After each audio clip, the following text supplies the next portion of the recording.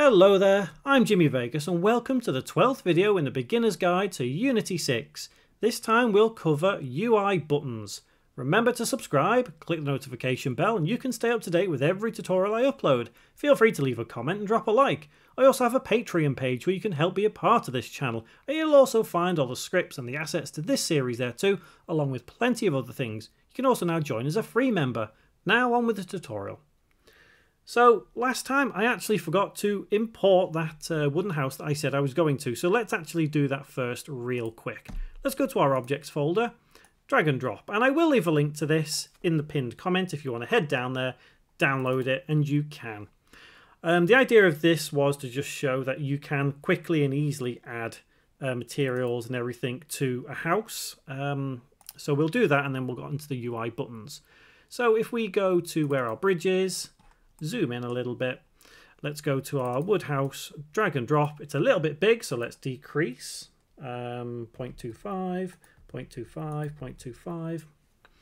And as you can see, it is just completely grey. Um, mainly because of the material. Uh, it is just the standard material there. Uh, but what we can do is right click on the farmhouse object, uh, prefab, and let's completely unpack. And next thing, let's go to the materials and let's drag and drop this object onto here. So this is the texture that goes on just fine. It's created another material folder, but we can play around with this and do whatever we want to it. You know, it's we've done this kind of thing before. I'd recommend just playing around with it and making sure you're happy. Anyway, um, did I say you can download that for free from the pinned comment? I think I did. Anyway, let's uh, talk about UI buttons. So what are UI buttons useful for? Well, when it comes to mobile gaming and development, buttons are very, very useful because the way Unity 6 incorporates buttons is they're already preset for a touchscreen, which means you don't need to do any extra programming to get a button to work on a mobile device. Uh, in this case, what we want to do is let's take a look at a button and let's put some code on the button to do something. The idea of what I want to do is open the gate whenever we press the button. So let's go to game object, let's go to UI and let's go to button if I can find it. There it is. And you can see it is in the center of our screen on the game view. It's very small. Let's put it in the bottom left.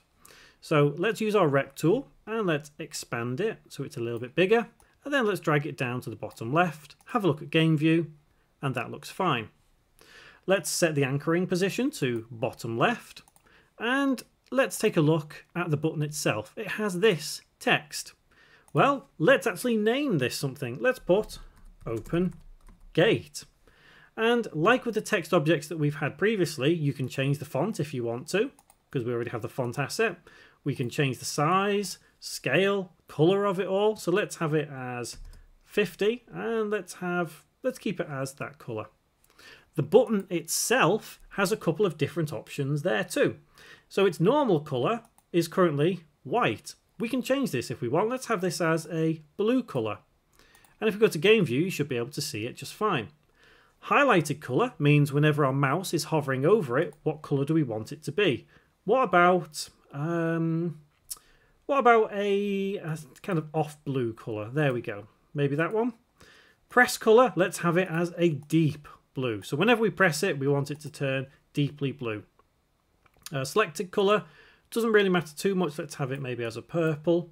I just want to kind of illustrate what you can do and how you can customize buttons. Disabled color is whenever it isn't in use, so it's kind of faded. That's why the alpha on it is currently set as 128. If we press play, we should be able to see these button actions and colors working. So its normal color is as it is, and if we hover over it, we should be able to see, ooh, if I have my mouse, it goes different. If we click it, it doesn't want to click.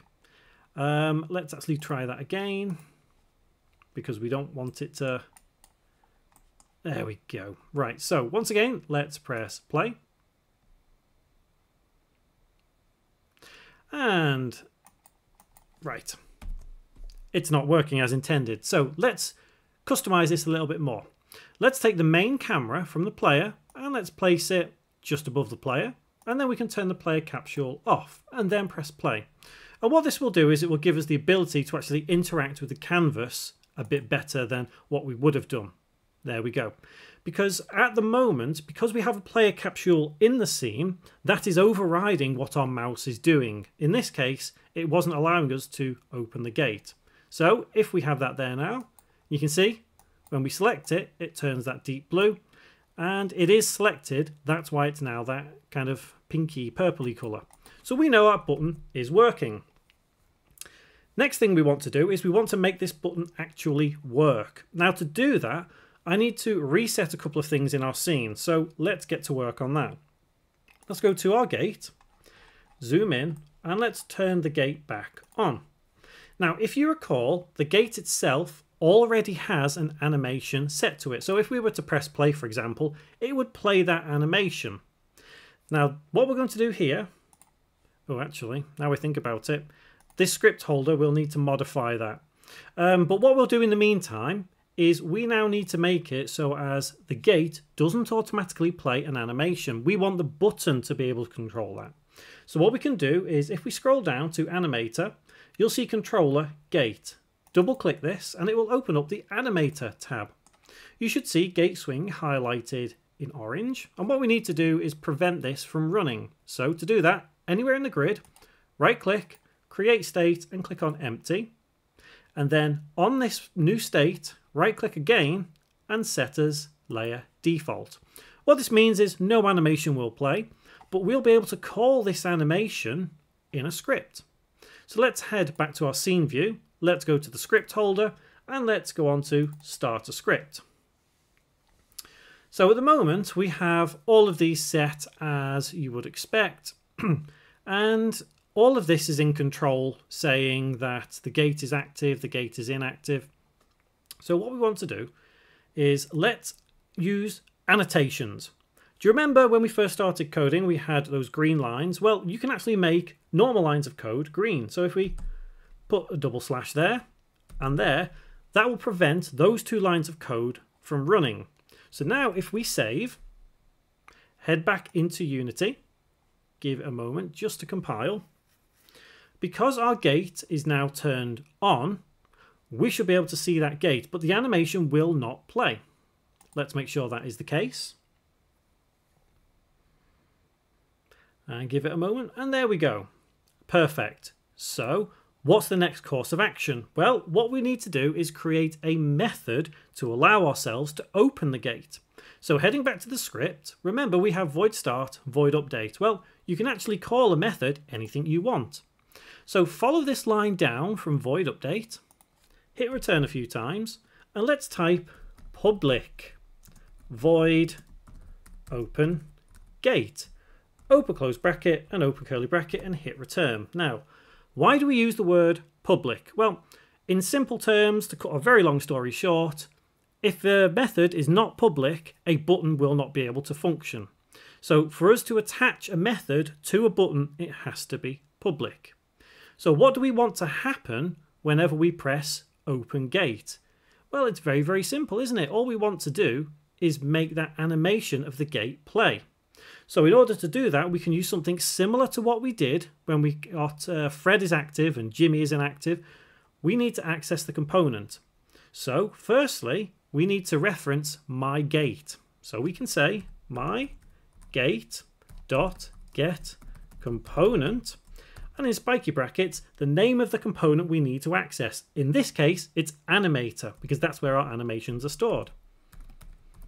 Animator, open close bracket, dot, play, and it's a capital P, and in brackets and quotes, the name of the animation that is the gate opening. So if we go back to Unity, go to animations, and it is gate swing. But what I'm going to do is I'm going to copy the name of the actual animation rather than retype it just in case because if you spell it wrong it won't work and then place it inside there and then semicolon to finish and save so the beauty of all of this is that this method will not run unless we attach it to something so if we head back into Unity give it a moment to compile what we essentially have to do is modify the button to know that whenever it's pressed, it has to run that particular method. So we can go to our button right here. And if we scroll down in the inspector panel, you'll see on click list is empty. So this is where we can input something when it's clicked. So we can press plus, and you'll see here runtime only. We now need to select an object in here. So drag and drop our script holder onto here. What this means is that whenever we click it, it knows it's got to access this object. So when we click no function, we can then click on start a script. And in starter script, that's where you'll see open gate. So if we click it, that now means that the button is set up for us to run open gate whenever we press it. So if we press play now, we should be able to press this button and this gate will open. Perfect. And if we do it again, it's it's not going to work. The reason it's not going to work is because the animation is only set to run once. We essentially need to reset the animation for it to happen again. Just to give a bit more context to it, if we go back into Unity, you could reset the animation here, but it's up to you whether you want to. It, it doesn't really matter if you do or not. The idea is we just wanted to get the button working.